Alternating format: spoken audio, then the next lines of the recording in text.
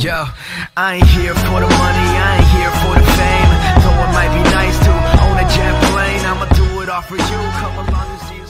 Ciao a tutti ragazzi, bentornati sul mio canale e benvenuti in questo mio nuovo video tutorial.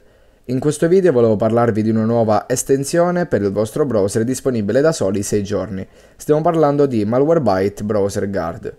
Questa è un'estensione gratuita progettata per offrire la protezione di Malwarebytes direttamente al tuo browser. È disponibile sia per Chrome che per Firefox.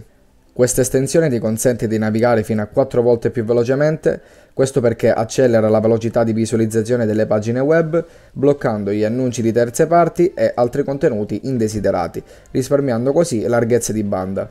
Inoltre rimuove fastidiosi annunci clickbait che spesso puntano a contenuti di valore discutibile. Protegge inoltre la tua privacy, infatti va a bloccare i tracker di annunci di terze parti che ti seguono su internet e ti indirizzano continuamente con gli stessi annunci.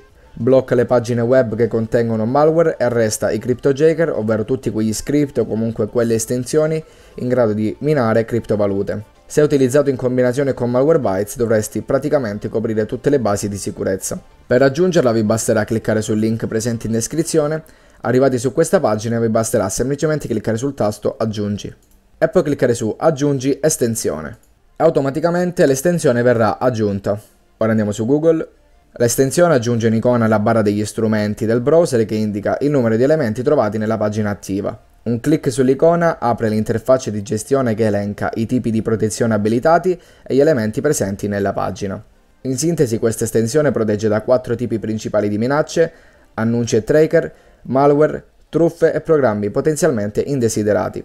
Gli elementi bloccati sono elencati nell'interfaccia ma non ci sono opzioni per interagire con essi, ad esempio se si vuole utilizzare il singolo elemento.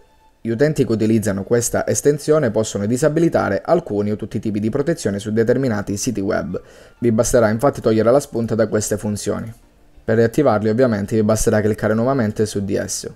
Cliccando qui invece si va nelle impostazioni dell'applicazione e qui si può tranquillamente disattivare o mettere comunque in pausa l'applicazione. Per riattivare la protezione vi basterà semplicemente cliccarci su.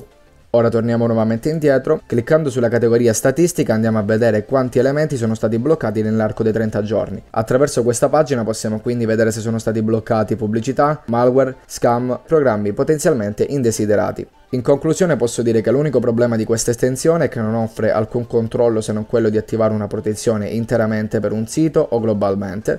Per il resto posso dire che questa estensione a mio parere è la migliore in circolazione sia per velocità che per sicurezza anche perché non esistono altre estensioni in grado di inglobare tutte le funzionalità offerte da altre concorrenti. Infatti nei video precedenti vi ho mostrato tre estensioni come uBlock Origin, Pop-up Blocker e NoCoin. uBlock Origin bloccava le pubblicità, gli annunci e tanto altro. Pop-up Blocker invece bloccava i pop-up, mentre NoCoin bloccava gli script e le estensioni che minavano criptovalute. Questa estensione invece è in grado di fare il lavoro di tutte e tre le estensioni, ma con una sola installazione. Per il resto ragazzi il video è concluso e vi ricordo che per qualsiasi dubbio o incertezza non dimenticate che ci potete contattare attraverso i nostri gruppi ufficiali, potete farlo sia tramite il nostro gruppo Facebook che con gli altri social a nostra disposizione, come ad esempio il nostro gruppo Telegram. Se vuoi rimanere sempre aggiornato unisciti al nostro canale Telegram e seguici su Instagram. Con questo ragazzi vi invito a lasciare un bel mi piace, commentare se qualcosa non vi è chiaro e iscrivervi al canale attivando la campanellina posta lì di fianco. Con questo ci vediamo al mio prossimo video, ciao!